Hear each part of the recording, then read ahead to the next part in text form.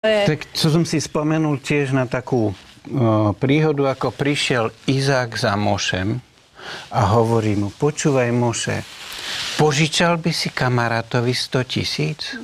A Moše hovorí, kamarátovi? Požičal, ale ja nemám kamarátov.